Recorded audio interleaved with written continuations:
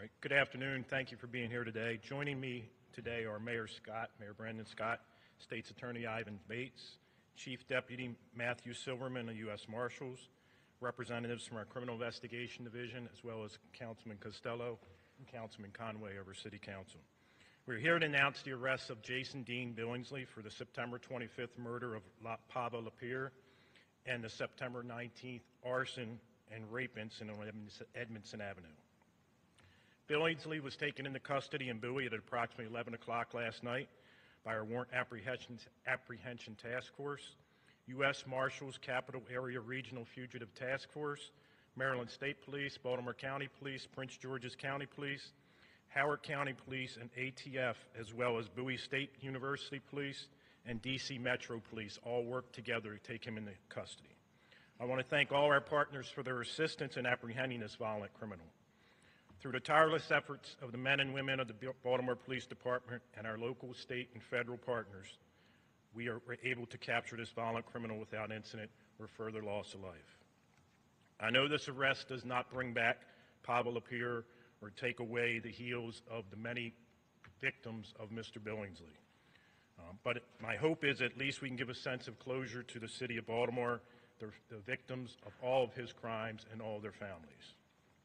Investigators continually and actively review all open cases since his release in October of 2022 to determine any connections that exist. We're going to put this individual, this violent criminal offender, repeat offender, back in jail where he belongs. Now let's all work together to make sure that he stays there. What I can confirm in reference to this incident and the reference to the incident on September 29th, right now all the indications are that this was not a random act of violence. We have information to believe that the victims from Edmondson Avenue were targeted by the suspect, that the suspect knew the victims, and he went into that location for a uh, criminal reason. We know that the victim and suspect were known to each other. Additionally, we know that the victim, did, the suspect, did not break into the building as he worked at that location. Through witness testimony and surveillance, we were able to develop the identity of the suspect, and a warrant was issued for him for Edmondson Avenue within hours. I can confirm that the warrant was a priority, and we brought in our law enforcement partners from the U.S. Marshals, as well as a flyer was distributed to every single officer in the Baltimore Police Departments. our detectives, alongside our partners at the Marshals, were monitoring and surveilling to, surveilling to apprehend the suspect. This includes tracking his phone, looking at financial transactions, looking at social media, surveilling known addresses, speaking to multiple witnesses, and listening to his previous jail calls.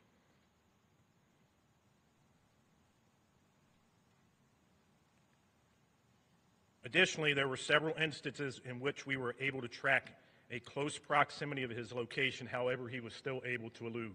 Matter of fact, we had the press conference the other day to, um, about Miss LaPere's death. We were delayed that press conference because we were within about 88 meters of capturing the suspect, but he was able to elude our capture. We knew early on that the risk that the risk was when we went public that the suspect would go underground, which is exactly what he did. As soon as the news uh, conference happened the other day, he basically left the location where he was at. Um, we did a search warrant at one location. He had just left because he saw the news conference. In reference to the homicide of Ms. LaPere, we are still processing all evidence to determine exactly what occurred. We do know that there was no forced entry in the apartment building, as this was a secured building. We don't know if there are any connections previously to Ms. LaPere or Mr. Billingsley. This is what we will continue to investigate, as well as the incident on Evans Avenue. I want to be very clear that in reference to both incidents and throughout these investigations, all information that was provided was based on preliminary details available at the time. Every BPD officer received notification of the warrant on September 20th, and they were aggressively trying to capture the individual and to locate his whereabouts and take him into custody. Since then, he has been continued to be our number one priority until his capture last night. Our WATF task force, as well as the U.S. Marshals, started to track him on September 20th, and we tracked him all the way until we captured him yesterday.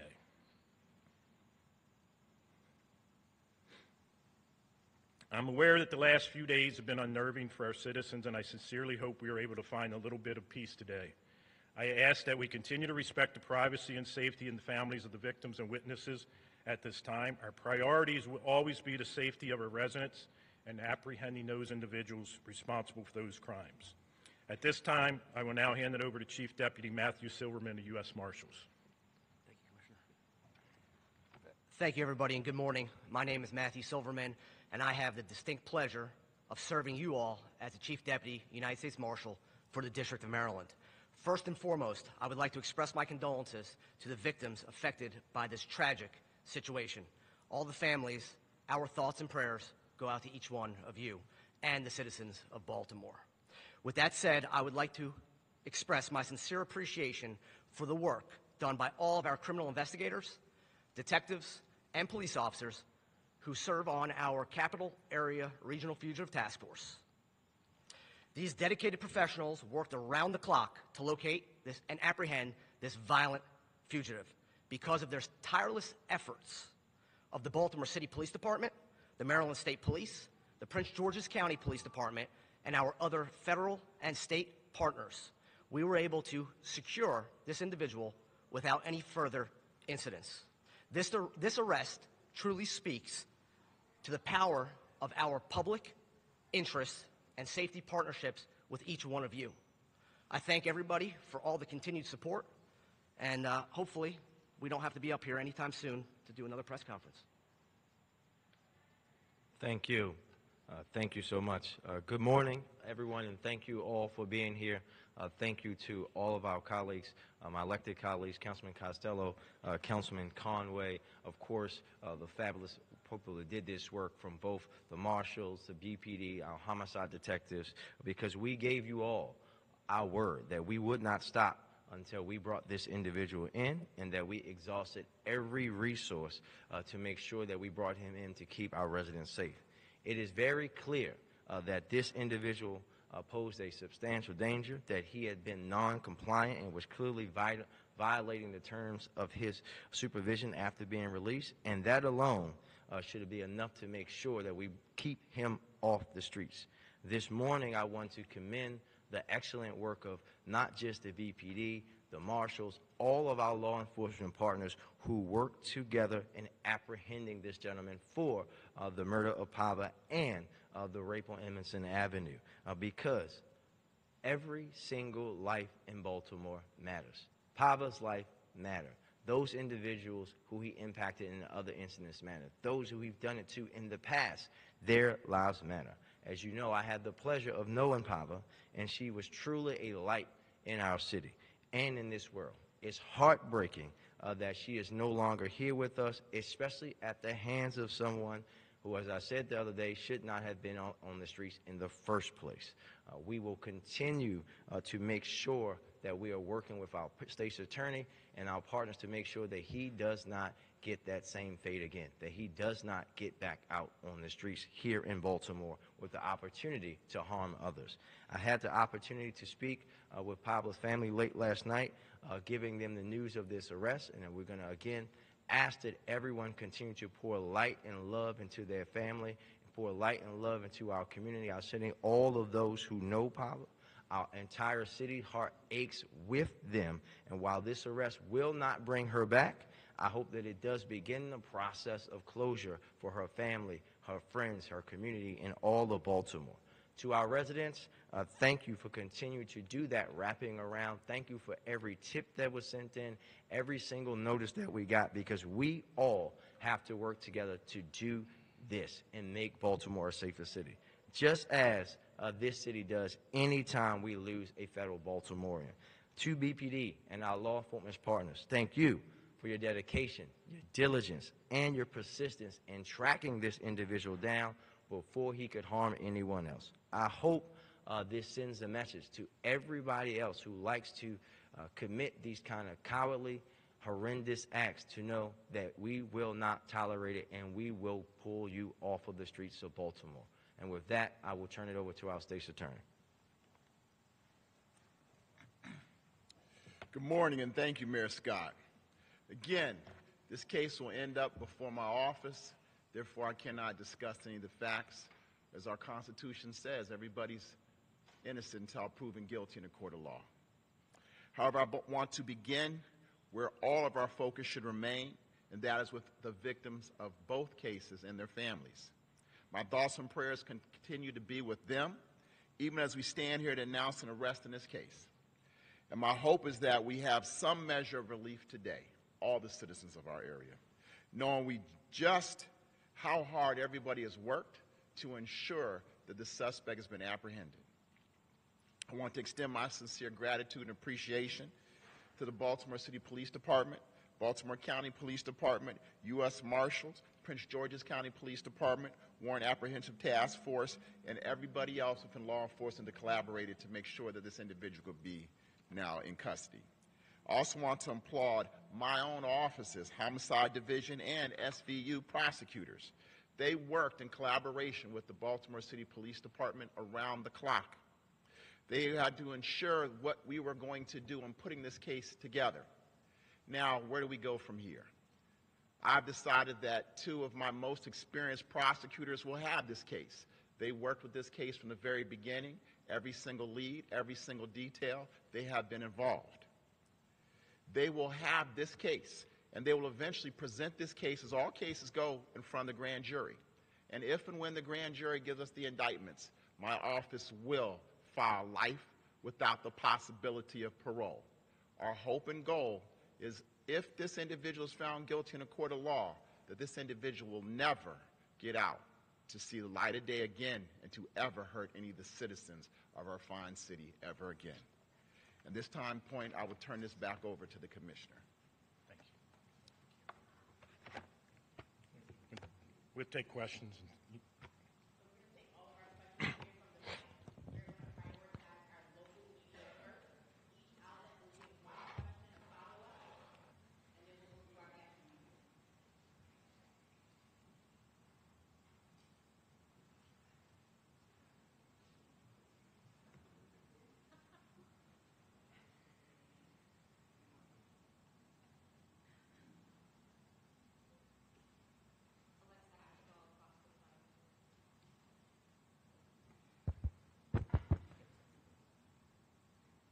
Alexa Ashwell, Fox 45 News. This is a question for Acting Commissioner Worley and Mayor Brandon Scott.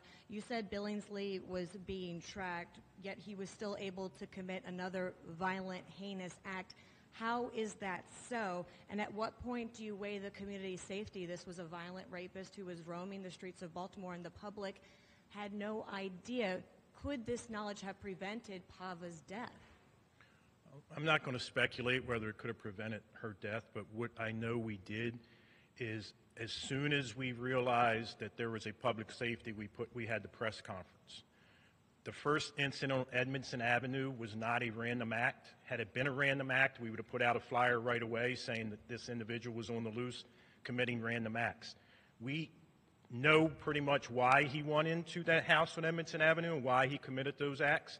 He worked at that building. He was familiar with the victims. Um, I'm not going to say too much more because I don't want to talk bad about victims. Um, but he was there for a reason. Um, and it was, at that point, our detectives and everyone in the department decided that he was, we didn't think at that point that he was committing random acts because he had been, we knew he had been out since October 2022 and we had no incidents that he has been connected to. We're going to go back and look and see if we have anything that he could be connected to. But at that time, we did not believe that he was committing random acts. We think he committed a targeted act on the, the victims that he victimized that day. And uh, my follow-up question, I mean, there are a lot of eyes on this press conference. People are angry. Your message to them, if they're questioning why they should trust the Baltimore Police Department with their safety. Um, the main reason is if we made a mistake, I'd tell you we made a mistake like I did in Brooklyn. I don't think we made a mistake in this case. I think our detectives made the same decision we make every single time based on the facts and circumstances that we have. And as soon as we realized he had committed a act that seemed to be random, um, that we still don't know connections there yet, we put the flyer out. And just as we thought, as soon as he saw the flyer, he tried to elude capture and turned off all devices we were able to track him on. Thank you. And, and just to add, Alexa, to that, I think we have to understand that uh, residents should trust the Baltimore Police Department in doing their work because they do that work each and every day. It was the Baltimore Police Department that did the work that led to the initial case that he was in, in prison for. And what the residents of Baltimore should be doing is questioning why he was let out and how that happened. And that's not on the police department. And they're the ones who are out here arresting folks for murder, taking record numbers of guns off the street, having a double digit de- uh, deficit in homicides, reducing that each and every day alongside our law enforcement partners. They are doing that work. Uh, but we know that we're talking about a system uh, that we also have to deal with because they didn't decide to let uh, uh, this sociopath back out on the streets of Baltimore. Thank you. Phil Yacuboski from WBAL News Radio. This uh, question is for the commissioner. What were the circumstances surrounding his arrest uh, late last night? Uh, where in Bowie uh, did he admit to it at that point? Um, you said without incident. Did he have a weapon? Can you describe exactly what happened? Yeah, I, we got information that we, we knew where he was at, um, or we knew where he was going. PG County SWAT set up, and when he showed his face, they took him into custody without incident. There was, I, I can't comment on whether what happened after we interviewed him or if we recovered a weapon. Um. Knowing what you know now, should you have put out a better photo of him earlier after the Edmondson Avenue incident? Hindsight's always 2020. If I would have known that he was going to go and kill someone, we would have put the flyer up. But we had no indication that he was committing random acts. This was a targeted act that he went into that apartment that he worked in, the building that he worked in, that he had access to the apartment. He was, he was allowed in the apartment. Um, so there was no reason to believe that he was out committing random acts. Had we believed that, the flyer would have came out to everyone on September 20th as soon as we got the warrant. Uh, Justin Fenton, Baltimore Banner. Uh, is it accurate that you've received information that there may be another dead person in a vacant home, and is that valid? No, that's the first I'm hearing of that. Um, secondly, I, I truly understand the difficulty of putting out information when you're not sure if the person did it or if you don't want to alert the suspect. But jumping to the press conference on Tuesday, you were asked point blank if there was other crimes.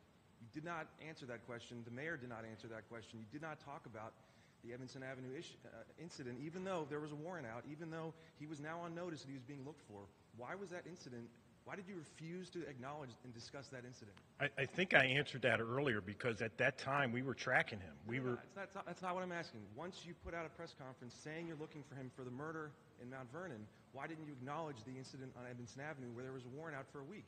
because there, there was two victims from Edmondson Avenue that were still out.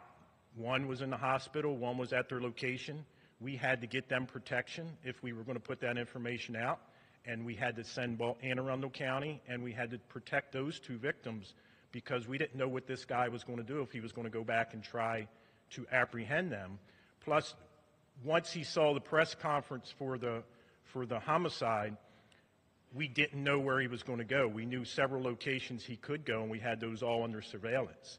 Um, and they were actively tracking him while we were at this press conference. That's why it was that press conference. That's why it was delayed for 30 minutes.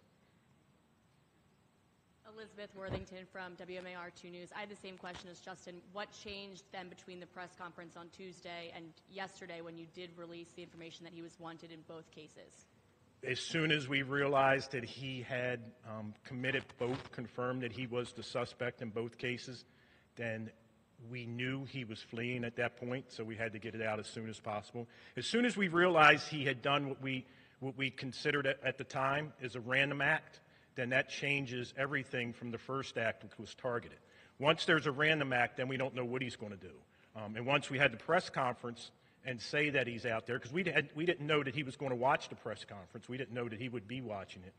Um, once that's out there, plus we have an investigation once we take him into custody to speak to him about the Edmondson Avenue case without giving up any details that we would know on that case. So um, those are all things that were taken into consideration as to why um, we didn't answer that. We already had him wanted for the murder. Follow-up question is Yep. for the mayor. I know you kind of touched on this a bit on Tuesday, but I think people are still really upset about the fact that he was let out of jail at all. Do you think something should change? Do you think that the violent offenders should not even be eligible for those good time credits that he got? I think that, and I'll say this again, I think that every single case is different. Uh, but when you go, and, and I know that you'll do this, and you go and look at uh, the facts of that original case, you will agree that he shouldn't have been out on the streets. Every case, every individual is different, right? And I think that that's what has to happen, that we have to continuously look at things as they are, but the facts as they are for this case, for someone who committed rape, he shouldn't have been out on the streets. Thank you. Mike Hellgren, WJZ. Uh, can you say, was Billingsley cooperative? Has he consented to any sort of interview by your detectives and provided you any more information about why he did what he did? Um, I can say he was cooperative when we took him into custody because he was surrounded by a SWAT team. So um, he did cooperate and turn himself in. We're not going to release anything about the interview with the detectives. And I don't know if this would be for Mr. Bates or others. I mean, are you, are you looking back at how the case was, you know, handled and any, you know, perhaps deal that was made back in 2015? And, and do you think that there should be some reform to these good time credits at all? You put me on the spot again with the law, huh? Um, a couple things we did. Yes, we immediately went back. We pulled the file. And pulling the file, what we definitely noticed was that a plea was given, and the plea was a little bit below guidelines. I'm not here to talk about it. It was a different administration. Our prosecutor is no longer there. But there, with every single case, there are different issues that you have to look at. Are the witnesses and victims cooperative? What's the evidence? Things like that. So I'm not going to go back and say hindsight's 2020. But you also sit down and look at what's called DIM, or diminution credits, within the Division of Correction. In 2016, the legislature passed a law that said if you do a sex offense, a rape, or a sexual assault on a someone 16 or younger, you are not eligible for diminution credits. Maybe the legislature could maybe look at what first degree sex offense or first degree rape. Are these individuals still going to be eligible for diminution credits? If that was the law then in 2013 when he was first arrested, then he would not have been eligible for parole. Thank you. Hi, I'm Cassidy Jensen from Baltimore Sun. Um, commission- oh, hi. Thank you. A little short. Um, for the commissioner, um, can you say was he armed when he was arrested? How was he able to, to be brought in without incident? Um, I think when he was surrounded by the SWAT team, he got the message that he might want to give up. Um, and P- Prince- Prince George's County SWAT team was waiting for him. When he showed his face, they took him into custody. Um, I don't know if he was armed. They, we processed it. I'm not, we won't release that because it's all part of the evidence. Um, sure. And then um, a question earlier about the protection for victims, and that was a reason why. Um, when when were they sort of given protection, and, and why weren't they given protection before that press conference? Well, one, one was in the hospital. Um, one, we had no, two, we had no indication that he was going to go back after them. But once we would have put out that they were part of it and he knew that we were part of it, he could possibly go back and try to harm them and finish what he didn't on that day in Edmondson Avenue. So we had to make sure because one of them doesn't live in the city and the other one was in the hospital. So we had to make sure that we were protecting them. This is also a question, uh, it's Barry Sims, WBAL TV, uh, dealing with uh, the uh, gun. Apparently, there was a warrant out from Baltimore County about a uh, theft of a gun, um, and trying to see if that's also connected to this case, and what do you know about all of that? Um, we know that he did steal someone's gun. Um, that was another reason that indicated that we needed to put that flyer out as well. I think, I don't know if we got that before or after, um, but we knew that he had access to a gun and he made se- several statements that he was going to be dangerous and maybe hard to take into custody, which ended up not being the case, but thankfully. Um, but yes, we do know about the gun. There was a warrant. He's charged with that case as well. You said he made several statements about the gun. Where were these statements made, and when did he make them? I don't know why he made them. He's a psychopath. When did he Um, make them? um, he made them when he stole the weapon from the individual he stole the weapon from. Hi, WYPR Emily. Can you give us any details about the evidence that linked Billingsley to a LaPere camera footage, DNA, cell phone, anything? You mean you say you're certain? I can't tell you exactly, but I can tell you that um, our detectives happened, the same detective happened to be on the scene of both cases and was able to pick out the suspect pretty quick. Okay. Um, and just a- a follow-up. I'm, I'm slightly confused after the answer to WMAR's question. She had asked what, uh, you know, why you waited to announce the Edmondson Avenue, and you said you wanted to be certain about the suspect. So I, I'm, but you said earlier that you knew at the time of the last press conference that he was involved in both cases. When exactly were you for sure, for sure that this was the person? Probably not long before that press conference. We had, we did the press conference. Um, once our detective confirmed, because all we had was the detective saying that it was the same person. We had to confirm through other means of evidence to tie him to that case with LaPere before, Miss LaPere, before we could tie him to Edmondson Avenue. We knew he did Edmondson, we just had to tie the two cases together. Um, But we didn't, we didn't release Edmondson simply because I, I don't think it would have helped us at the time. Um, I think we did not want to kind of tip our hands that we knew that he did Edmondson because we still have to, we still have to interview him for Edmondson. Um, and he may just say he didn't do it. So um, we don't want to give him any indication of what we have. The murder warrant itself um, was going to cause him to flee. Thank you. Hi, Nicole Sganga, CBS News. Thank you so much for doing this. I realize it was a prior administration, but hoping someone here can offer clarity to the public. Why was this dangerous criminal on the streets in the first place? What were the terms of his release and eventual supervision? Yes, thank you. So basically, in June 23rd, 2013, uh, he was alleged, he was charged with a crime. It took about 2015 before he actually went to court. When he pled guilty in court, he pled guilty to um, sex offense in the first degree. And then you have, in Maryland, what's called sentencing guidelines. His guidelines for that offense were about 15 years to 25 years. He received a sentence of 30 years, suspend all but 14 years, which meant that he would be incarcerated for 14 years. However, in the state of Maryland, you can earn what's called diminution credits. We get almost 30 days of good time for almost every day, I mean, for every month that you're in, in custody and you're not messing up. So he had what's called diminution credits. Therefore, he didn't need to be paroled. He did a little less than two thirds of his sentence, and that's what the law allows. So when you look at it, it was more or less the systematic, to me, failure in terms of what happened, because when you look at this, the plea bargain was a little bit below guidelines, but it was a different administration. I don't know all the issues within the particular case. You can maybe have a victim who doesn't want to testify. It's very difficult when you do sex offense cases because you may or may not have the DNA. There are a number of different issues. I wasn't a prosecutor, so we don't have that information. But what we do have is that there was the offer of 30 years to spend all but 14. We even know that the judge who handled the case was reluctant in terms of accepting that plea bargain. Um, hindsight, like they say, is always 2020. I think now that we see how diminution credits work and how an individual that, yes, had a prior conviction for, I believe, a robbery and assault uh, convictions as well, that, you know, at the end of the day, I think the prosecutor who handled the case would say, we had a dangerous individual off the streets for a few years. Yes, um, but we also now need to look at, in terms of the system that allows for the diminution credits of an individual with his background as well as with those charges. So that's why I say the systematic. Ultimately, it was a judge who authorized his release. Well, it was the state's attorney's office that made the offer, and the court accepted that offer. So it was everyone involved.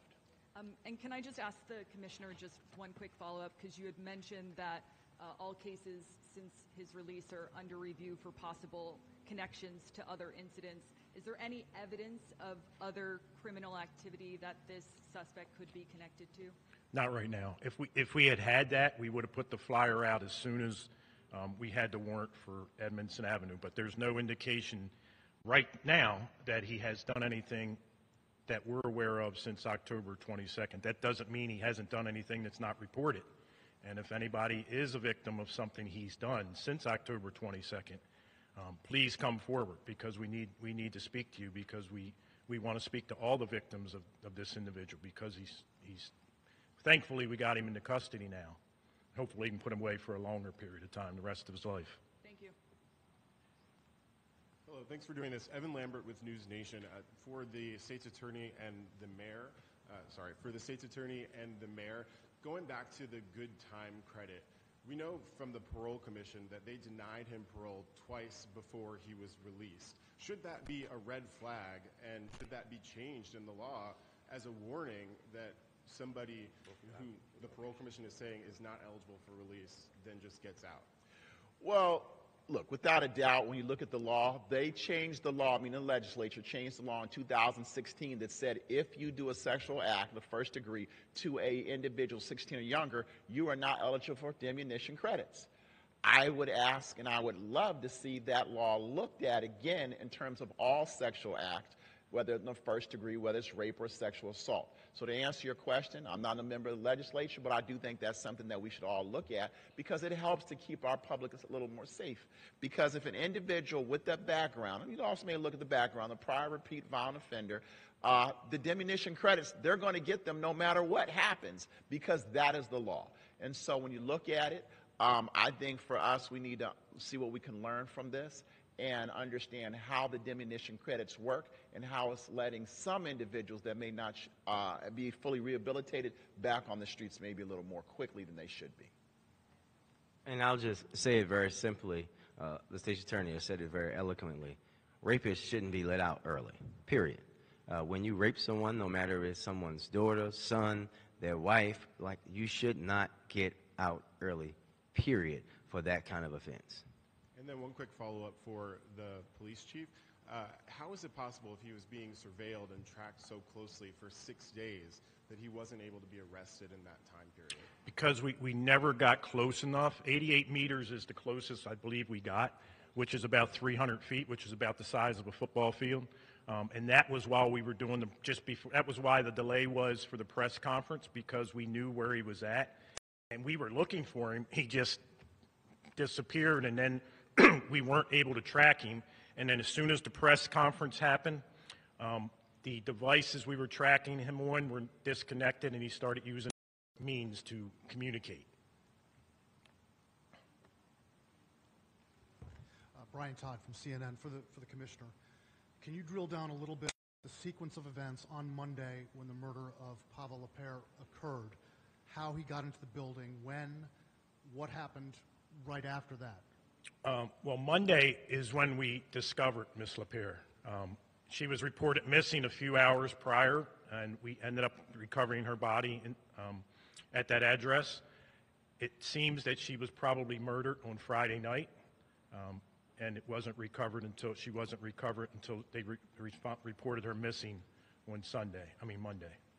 Can you give any more detail on Friday night? I mean, again, sequence, how it, how it occurred. Sir, I'm sorry, you weren't here the other day, but we're not going to do that. One, this is an open and active case, but also, again, uh, at the request of the family, we are not publicly sharing those details because the reality is, is that this young woman was murdered by this man. Uh, he will do that time. All of that will come out, but the family has asked that we not share those kind of details, and we're just going to ask you guys to respect that wish.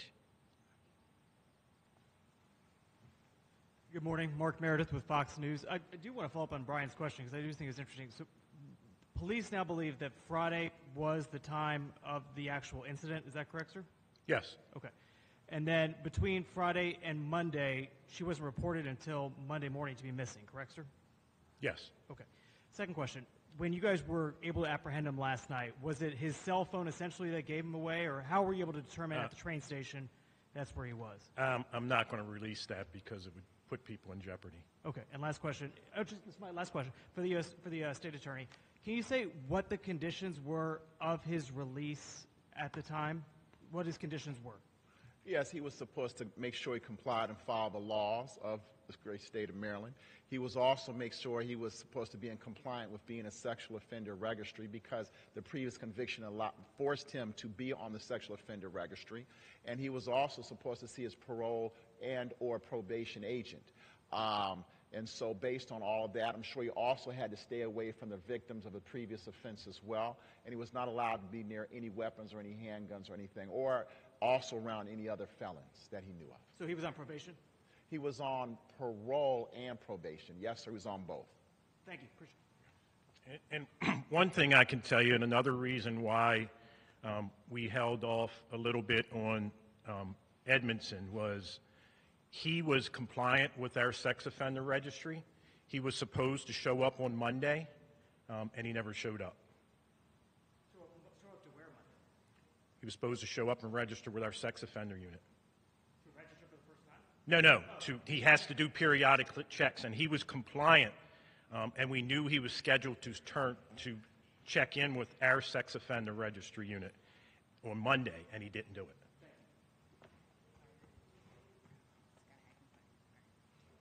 Um, I have a quick follow. Oh, thank you. Uh, Julia Jester with NBC News. I have a quick follow-up. I know you don't want to release uh, details of the murder itself due to the family's privacy, but given that you said there was no sign of forced entry into the building, can you clarify where she was found? If they had broken into her residence, if you know, since there was no sign of forced entry. No, we're, we're not. We're, the, the family has asked we not release any details, and we're going to honor their, their wishes. And then a question for uh, you and, and the mayor and whoever else wants to answer. Obviously, this is a horrific, tragic murder of Pava and someone who was beloved in the community. What do you say to the the families of victims who their perpetrators haven't been apprehended and they haven't had quite the high profile press conferences as these of those that are, are still on the run and unsolved? Um, I can tell you, our homicide detectives, it doesn't matter who the victim is, our homicide detectives investigate those cases like it was a family member. That's the unique thing about our homicide unit. That same day that Miss LaPere was killed, Mr. Braxton was killed. Um, 15 years old, shot in Gilmore, on Gilmore Street. They're investigating that case as, as diligently as they can. What happened in this case, the, the evidence just came quicker to them. It's not because of any other thing other than the fact that we got the evidence on this case quicker than we've got the evidence on Gilmore. We've got some evidence on Gilmore, and I guarantee our homicide detectives are going to close that case too. And we'll have a press conference to tell you we closed that case at a 15 year old. Um, but we also have two, over 200 other homicide victims in this city this year. So we work to try to solve every one of those cases. Our homicide detectives is one of the best in the country, and they work their butts off every single day to try to solve every murder. And I'll, and I'll just add that uh, the press conference on Monday, we talked about young Rashid just uh, as well. Now, we didn't get any questions about him, but we talked about him. And we've talked to his family. I've talked to his dad. And we, our detectives do not care who it is. They work every case the same way. I see how it impacts them. I see how it even impacts their mental state and have to make sure that they themselves are okay because it's not normal to do what they do every day and they do it better than any police department in the country uh, for my money. And we're going to continue to make sure that every single family that goes through something like this gets that same treatment. But we also have to continue to push all of us in the community to make sure when we know who is shot and killed and murdered someone else, else's family member, that we let somebody know and treat it just like it was our own family. And I want to correct, I'm sorry, it was the 15 year old is Rashid Maxwell, not Braxton. I apologize.